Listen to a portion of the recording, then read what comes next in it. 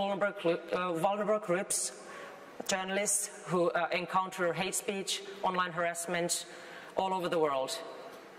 We, we want to highlight also uh, the protection of female journalists and, and minority groups. It is also great responsibility for us all and supporting the civil society and its actors, civil, civil, society networks and NGOs, and do great cooperation in this work with them. To conclude, it is important to state that freedom of expression and media freedom are human rights. They include the right to information, freedom to seek, receive and impart information and ideas through the, any media regardless of frontiers. And Finland, which now holds the presidency of the Council of the European Union, is highlighting these issues also during the presidency.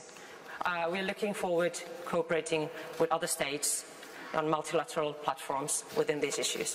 Thank you. Thank you very, very much, State Secretary. And uh, finally, from the panel, um, I have uh, Emine Dzhaparova, also has been a journalist in her past, uh, but is now Minister for Information uh, and Presidential Spokesperson for the Ukraine. Yeah. The floor is yours. I'm not the presidential spokesperson, just the first deputy minister for information ah. policy. Uh, they have already started to calculate my time, so I have to go to my speech because it's only three minutes. I will have to read. Dear Excellencies, ladies and gentlemen, my country is under the war for five years and under the occupation, so my national statement will directly go to this very problematic issue and my pain, not only personal, but in terms of the whole uh, state. Ukraine commits to and protects freedom of speech as one of the key prerequisites for the existence of democratic society.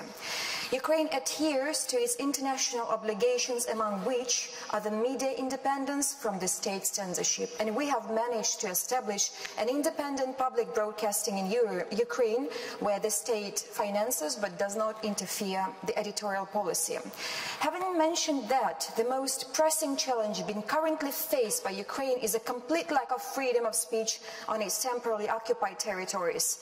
The national broadcasting system has been completely shut down in the Autonomous Republic of Crimea and the city of Sevastopol and parts of, parts of Donetsk and Luhansk region, which is on the east of my country. Another broadcasting system, an illegal one, has been set up instead. In Crimea alone, Russia illegally exploits 500 television and radio frequencies that belong to Ukraine. Ukrainian online media outlets are blocked out. The signal of Ukrainian broadcasters from the Ukrainian controlled territories are suppressed and jammed by the occupying power.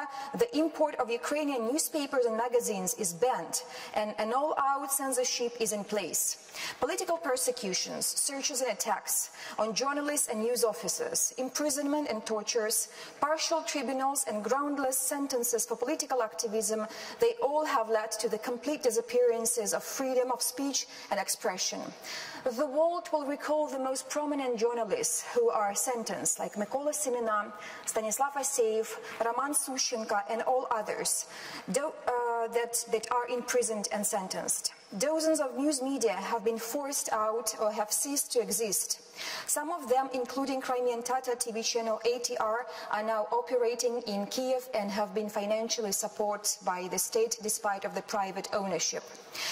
With the foregoing in view, Ukraine continues to build up necessary infrastructure, creating an information alternative in the occupied territories. This includes the setup of the new TV towers and the allocation of new radio and television frequencies so that the residents of the occupied territories could have access to any kind of alternative but for Russian media. Therefore, Ukraine calls upon uh, the international community to take a more proactive stance with respect to the protection of freedom of speech in Ukraine's occupied territories. And we really welcome the launch of the Media Freedom Contact Group that has been announced here today.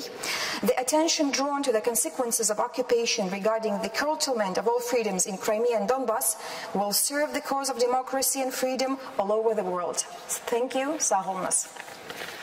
Thank you so much. That was really powerful from uh, really where the front line is in terms of uh, getting uh, accurate information to citizens. So thank you for that very powerful statement. We now have five minutes where we can uh, invite uh, members of the audience to ask questions. I'm looking uh, from right to left to see if I see any hands up at all? Uh, any questions from the floor? Or uh, can I just uh, bring this session to a close then by saying uh, that I think we heard a uh, really broad range of contributions, uh, some real progress being made in some very powerful national statements and we are proud to be hosting this conference with Canada where we can stand united in defending media freedom across our world. Thank you very much for taking part in this panel. Thank you.